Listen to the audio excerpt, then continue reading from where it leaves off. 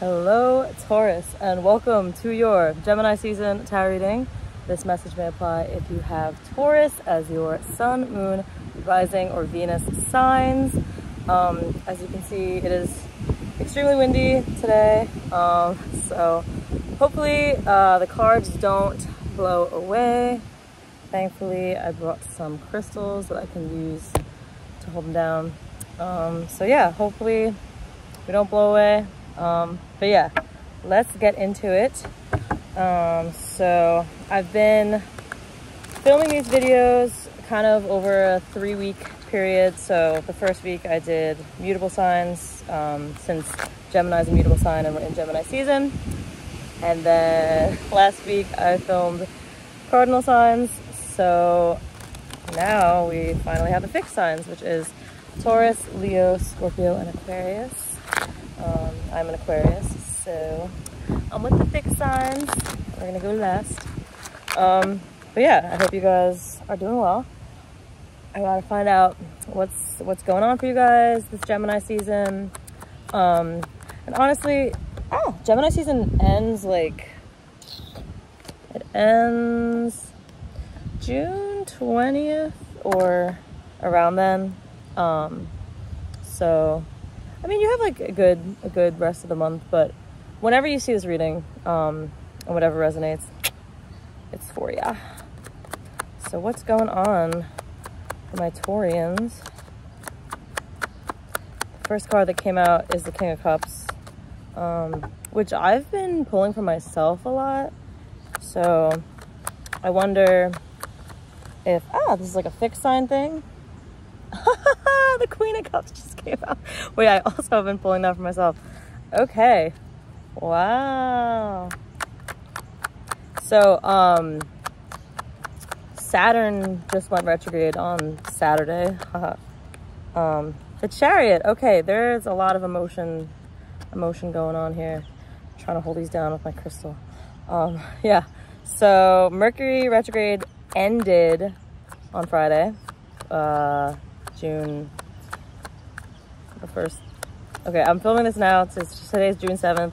Um, so whatever last Friday was, um, Mercury retrograde ended and then Saturn retrograde started the day after. So Saturn um, is like the planet of boundaries, discipline, um, lessons, karma, things of that nature. So it might sound oh, serious and scary, but Jesus Christ. Um, these lessons, like they have to be learned sooner or later. So it's it's good. It's a good thing. Um, okay, so hopefully, hopefully we don't blow away anymore. Um, okay, so I don't know if I should start talking or just wait until all the cards come out.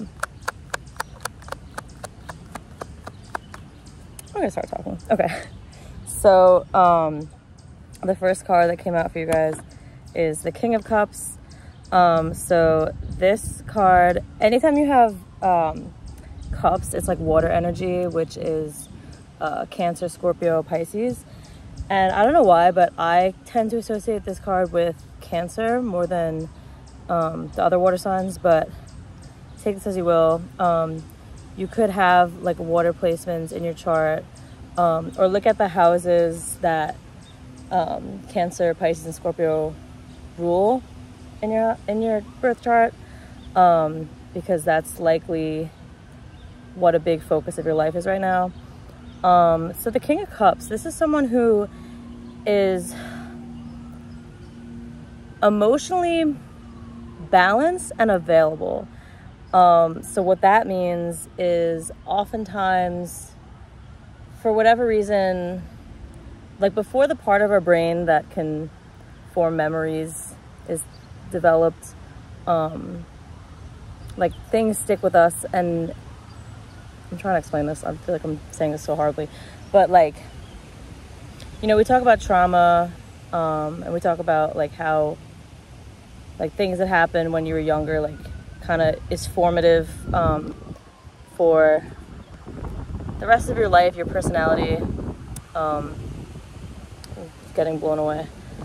But um,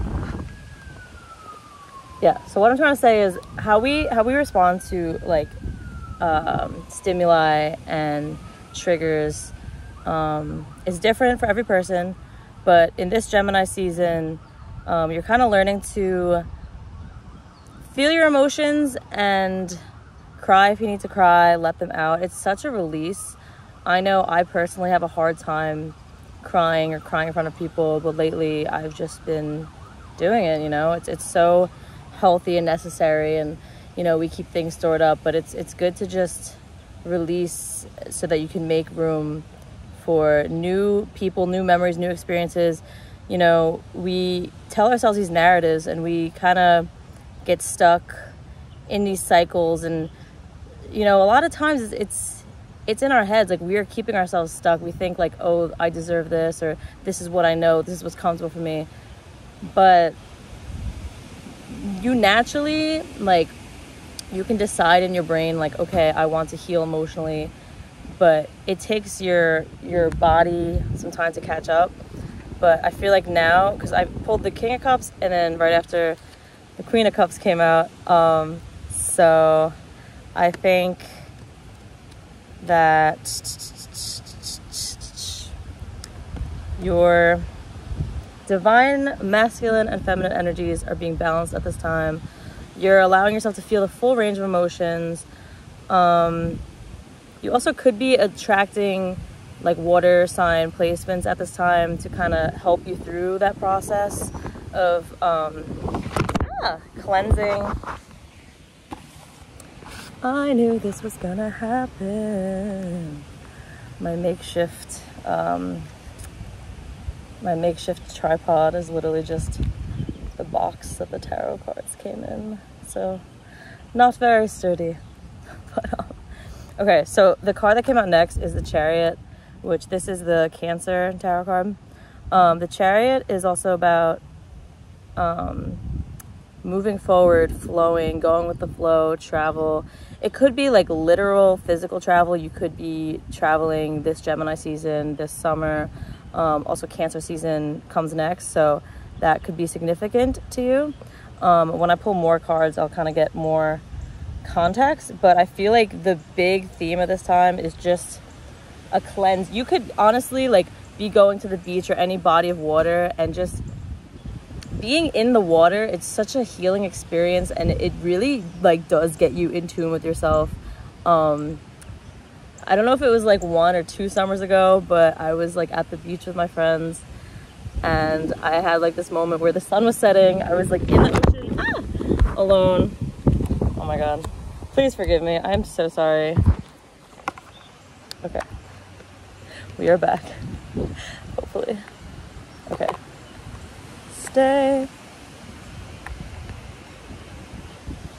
Okay, this is like horrible.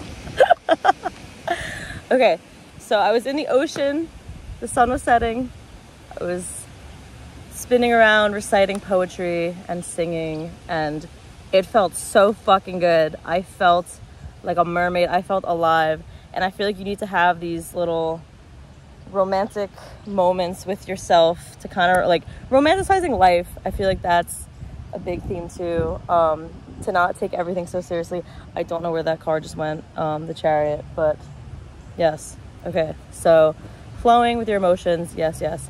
Okay, so now we also have the Nine of Swords ah, in reverse. Okay, here's the chariot. Found it. Sorry, this is so chaotic. Um, hopefully it's entertaining for you watching this. Um, yeah, okay. So the Nine of Swords in reverse. This is a card of extreme anxiety, overthinking. Um, so there could be some fear. Um, and I think fear holds us back because honestly, when we're afraid to fail, we're afraid of success. I'm gonna say that again. When you are afraid of the unknown, you're afraid of failure, you're afraid of success. Because again, what I was saying before, it's like we have these old patterns, these old stories. It's like, oh, do I deserve this? Yes, you deserve it. Okay? Let go of that fear of the unknown, that overthinking. it's not going to change anything. It's not serving you. So if you want to be a little delusional, which is not even delusional, it's just you are literally writing your reality and like your life is going to match that. You know what I'm saying? Like your thoughts affect your life so much. And so I think give the rational mind a break, believe in miracles, tap into your heart space. Um, I think working on your heart chakra um, can help a lot. So like green crystals, pink crystals. Um, I know rose quartz is a popular one. Um, crystals have different vibrations. Um, also, like Tibetan singing bowls or um, what's it called? Like binaural beats. Um, all these things have different vibrations and um, listening to healing music or just your favorite songs, um, wearing pink and green, all these things can help you open up your heart space because um, you're really allowing yourself to be vulnerable and feel your emotions. Um, okay. the next card that came out is the Lovers in Reverse. So this is a Gemini card. It's interesting that we got the Gemini and the Cancer cards because it's Gemini season and the next Cancer season. Um, so the Lovers in Reverse. Okay, so I think a big theme in your life right now, like I was just saying before with the heart chakra, is love and relationships and just examining the relationships in your life. Um, and, you know, the, the lovers in reverse, it's kind of like focusing on loving yourself. Um, you know, also that fear and anxiety I was saying before, like this this this is gonna apply to everyone differently, but like you could have had a breakup or be going through a breakup and that's why you're so in your feelings. Um or you could just be deciding like I I choose better for myself. I'm gonna focus on loving myself, healing myself. Um, either way, it's always a good thing to tap into your emotions um, and work on loving yourself. Um, because when you get that vibration up and your heart space is open and you're okay with feeling your emotions, life just becomes so much richer. Um, and then we have the Three of Wands in reverse. So this is like planning for the future. So, okay, so I think it's interesting how the first three cards that came out, you know, the King and Queen of Cups and the Chariot all upright. So it's like, good, flow with your emotions, feel them. And then we have like Nine of Swords in reverse, Lovers in reverse, and Three Wands in reverse. So I feel like you could have maybe saw a future ah, with someone else um, or just you had this idea of what the future was and something kind of shook that up and now you're moving you're moving forward but it's not what you had in your head and that's because you're meant for something better. Um, and the card that's on the bottom of the deck which i use as the overall message is the seven of cups. I don't know if it was in reverse or not honestly. The cards have just been flying around and i'm so sorry for that. Um, but this card it's all about choices, options, but also delusions, illusions.